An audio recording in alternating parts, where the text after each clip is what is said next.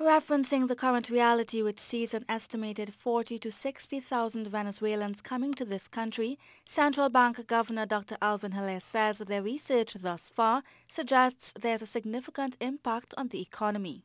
Has estimated that the, the fiscal cost could be on the order of about 620 million TT dollars per year. This is substantial.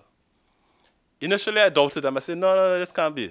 But when I looked at other countries, I looked at Colombia in particular, and they estimated that it would be, it would cost them about 0.4% of their GDP. At a time when there are mixed views about the government's acceptance of Venezuelan immigrants to live and work in this country for a one-year period, Dr. Hilaire outlined some of the benefits attached to having a migrant population.